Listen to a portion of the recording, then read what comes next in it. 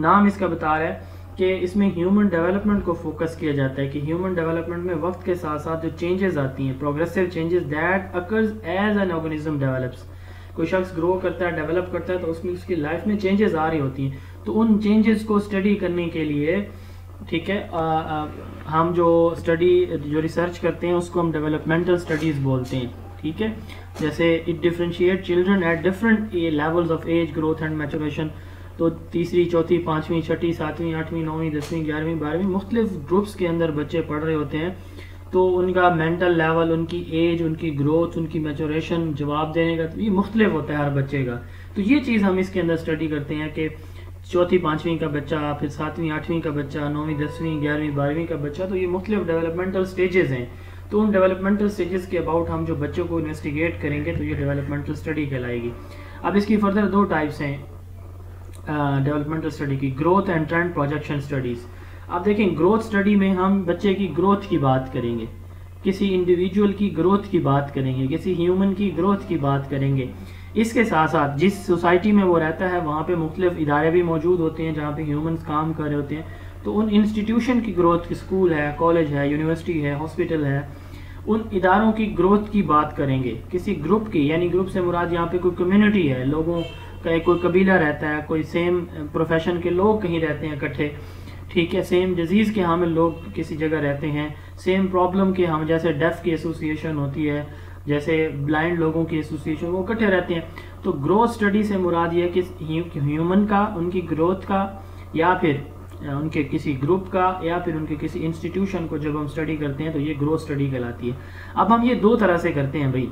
एक होती है लॉन्गिट्यूडनल या वर्टिकल और दूसरी होती है क्रॉस सेक्शनल या हॉरिजेंटल बहुत आसान है और बहुत इंपॉर्टेंट है।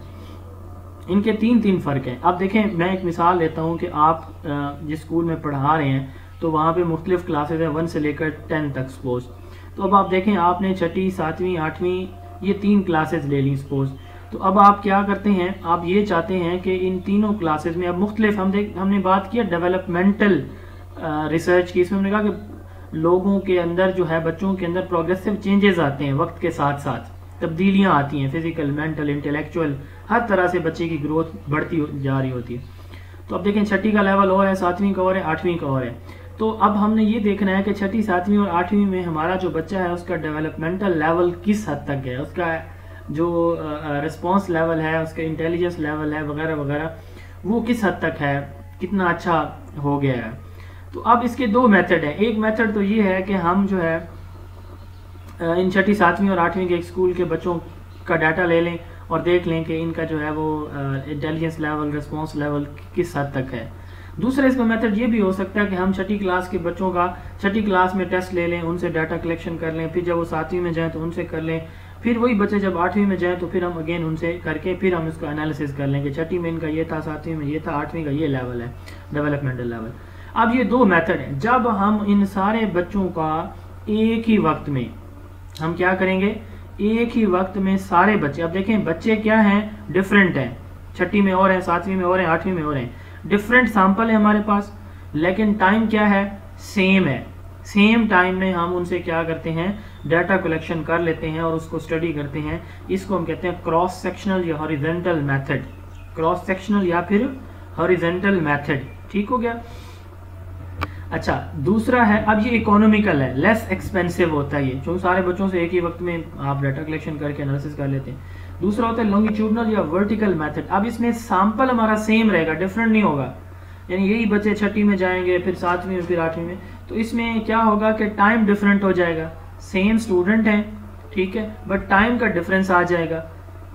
सैंपल सेम है। टाइम जो है डिफरेंट डिफरेंस आ जाएगा कि छठी में, फिर सातवीं में, फिर आठवीं में उनसे डाटा ले रहे हैं। तो इसको हम कहते हैं लॉन्गिट्यूडनल या vertical method sample is observe repeatedly over a long period of time it is expensive अब साधन एक्सपेंसिव है कि आपको तीन साल वेट करना पड़ेगा डाटा चाहिए, हो सकता है कुछ बच्चे ट्रांसफ़र करा जाएँ।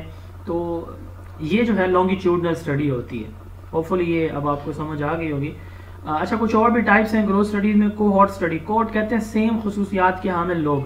किसी सेम डिज़ीज़ के हामिल लोग हैं, किसी सेम प्रोफेशन के हामिल लोग हैं, किसी सेम जो स्पोर्ट्स के हामिल लोग हैं क्रिकेटर का ग्रुप है डायबिटीज़ का ग्रुप है एड्स के मरीज़ों का ग्रुप है, ठीक है? तो सेम करेक्टरिस्टिक्स के हामिल लोगों को जब हम स्टडी करते हैं तो इसको कोहॉर्ट स्टडी बोला जाता है। Same profession same disease same problem के हामिल लोगों को जब आप इन्वेस्टिगेट करते हैं it is known as cohort study ठीक हो गया? देन आता है ट्रेंड स्टडी अब ट्रेंड स्टडी से मुराद ये है कि हम एक सैंपल लेते हैं पॉपुलेशन से और हम ये देखते हैं कि किस तरह के ट्रेंड ये जनरेट हो रहे हैं यहाँ पे। लेकिन लोगों का ट्रेंड किधर है? वो किस तरफ़ जा रहे हैं?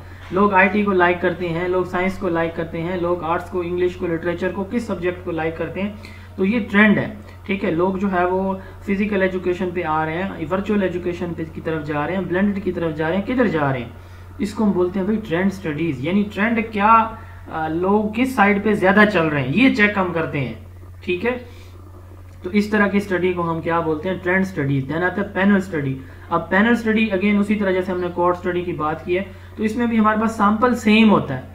सेम जो है, हमारा सैंपल होता है, उसको हम जो है रिपीटेडली ठीक है? हम उन्हीं उन्हीं लोगों से again and again data collection करते हैं, इसको पैनल स्टडी कहते हैं। Repeated observation of same variable over short or long period of time ये पैनल स्टडी हो जाएगी। अच्छा फिर आता है फॉलो अप स्टडीज़ अब फॉलो अप स्टडीज़ में हम क्या करते हैं? पहले पिछली स्लाइड पे भी हमने देखा है। फॉलो अप स्टडी से मुराद ये कि आपने कोई प्रोग्राम लॉन्च किया है। तो अब आप उसकी इफेक्टिवनेस देखते हैं कि ये जो प्रोग्राम आपने लॉन्च किया है, उसके क्या नतज निकले हैं? अच्छे निकले हैं, बुरे निकले हैं, कोई नतज निकले, कोई फ़र्क नहीं पड़ा तो ये फॉलो अप स्टडीज़ कहलाता है। मसलन कोई पेशेंट है, उनको आपने कोई मेडिसिन दी तो उसका आप देखेंगे कि माहौल चेंज किया तो क्या कोई फ़र्क पड़ा या नहीं पड़ा? ठीक हो गया जी।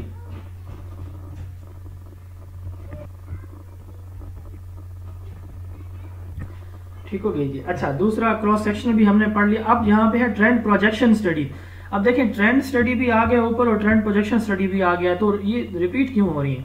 भाई जो ट्रेंड स्टडी है ना ट्रेंड स्टडी इससे मुराद ये है कि आज कौन से ट्रेंड सेट हो रहे हैं? ठीक है? आज जो है वो लोग किस तरफ़ जा रहे हैं? ठीक है? मतलब आ, हमारे यहाँ ट्रेंड पहले ये था कि बच्चियों को लोग नहीं पढ़ाते थे अब जो है वो आ, लोग बच्चियों को पढ़ाना उन्होंने शुरू कर दिए।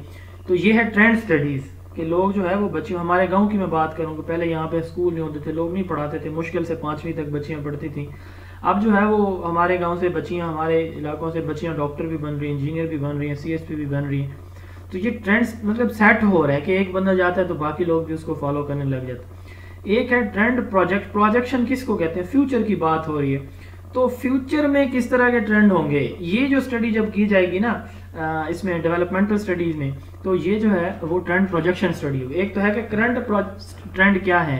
अब लोगों का रुझान किस तरफ़ है?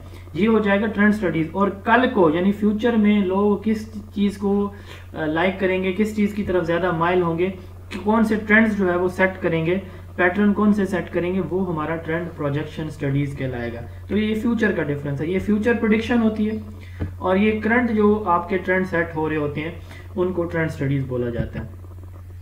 उसके बाद तीसरी टाइप है इसकी आ, हमारी जो रिसर्च है डिस्क्रिप्टिव वो है इंटर रिलेशनशिप स्टडीज़ अब इंटर रिलेशनशिप स्टडीज़ में हम वेरिएबल्स के दो चीज़ों के दो फैक्टर्स के रिलेशन